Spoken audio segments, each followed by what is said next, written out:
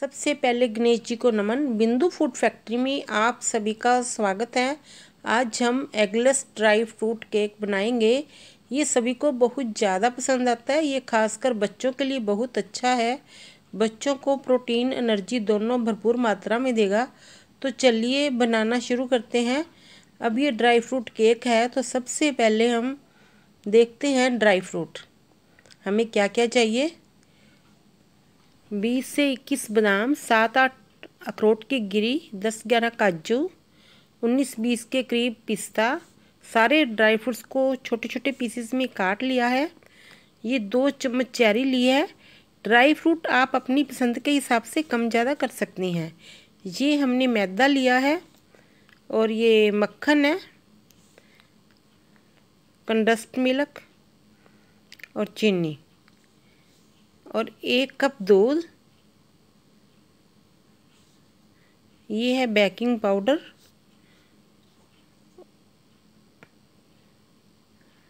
Baking soda अब हम एक बाउल में बटर कंडस्ट मिल्क और चीनी को डालकर फेंटेंगे। ये मेल्ट मक्खन को हमने गरम नहीं किया जस्ट नॉर्मल टेम्परेचर पर रखेंगे और ये मक्खन हम बाउल में डाल लेंगे।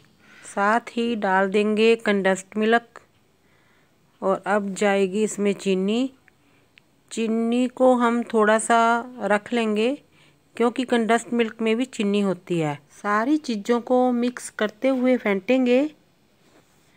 और तब तक फेंटेंगे, तब तक कि मिश्रण फ्लफ़ी ना दिखाई देने लगे। हो सके तो आप इसमें पाउडर चीनी का यूज़ करें।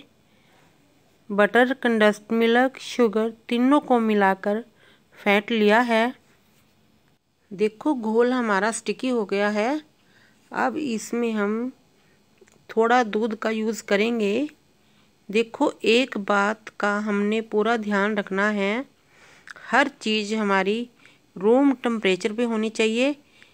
अब मैदा को हम छानेंगे। बेकिंग पाउडर बेकिंग सोडा और ये होगी हाफ़ कप मैदा और। टोटल मैदा हमारी वन एंड हाफ़ कप है। अब इसको हम चम्मच की सहायता से छान लेंगे ताकि मैदा जो है इसकी डस्ट उड़े नहीं। मैदा हमारी छन गई है। मिक्स कर लेंगे। दूध डालेंगे और मिक्स करेंगे। और फिर जो दूध हमारा बचा है, उसे भी अब हम डाल देंगे और सारे दूध को हम अच्छे से मिक्स कर लेंगे। बैटर हमारा तैयार हो गया है। दूध भी हमने सारा डाल दिया है। अब इसमें जाएँगे ड्राई फ्रूट जो हमने बारीक बारीक काटे हैं। थोड़े थोड़े ड्राई फ्रूट हम रख लेंगे। बादाम, अखरोट पिस्ते काजू, टूटी फ्रूटी, इन सभी को अब हम करेंगे मिक्स। बैटर हमारा तैयार है।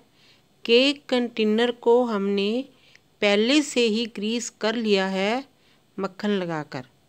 कंटेनर को आप तेल या घी लगाकर चिकना कर लें। अब अब इसमें जाएगा बैटर कंटेनर में। कंटेनर को हम खटखट करके बराबर कर लेंगे और बैटर को प्लेन कर लेंगे।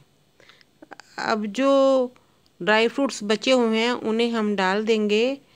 कढ़ाई को हमने पहले से प्री हीट कर रखा है और इसमें कढ़ाई में हम रख देंगे एक स्टैंड और स्टैंड के ऊपर हम रखेंगे केक कंटेनर को। अब केक को हम अच्छे से ढक देंगे एक बड़े से बर्तन से, ताकि इसकी स्टीम जो है वो बाहर ना आए।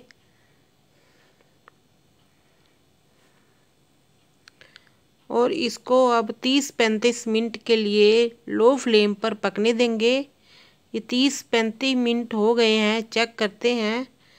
वैसे तो अभी देखने में कच्चा लग रहा है। बीच में से केक हमारा कच्चा है। अभी इसको हम थोड़ा और पकाएँगे। स्टीम में लो फ्लेम पर ही रखेंगे ताकि अंदर से अच्छे से सिक जाए।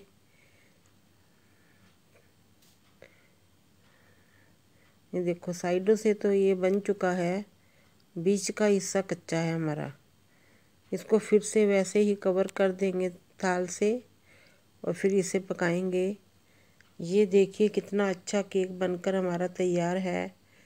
अब ये देखने में ही लग रहा है, अच्छे से रोस्ट हो गया है। टाइम तो काफ़ी लग गया, पर ये फ्रूट केक बहुत ही अच्छा बना है। इसे ठंडा भी कर लिया है हमने। अब हम इस केक को कंटेनर से बाहर निकाल लेंगे।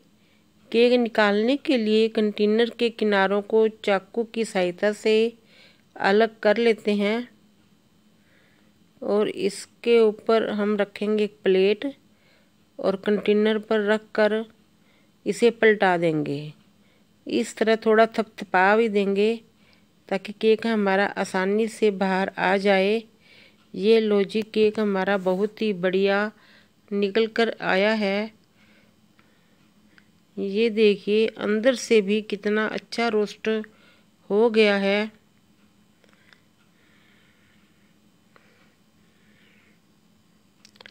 आप इस केक को फ्रिज में रखकर पंद्रह से बीस दिन तक खा सकते हैं।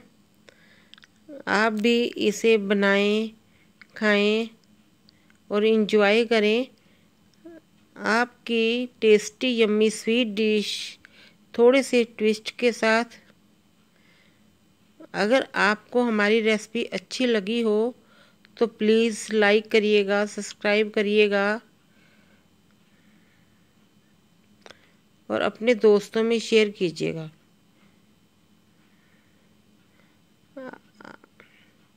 आप सभी को मेरा Ram Ram. Thank you so much take care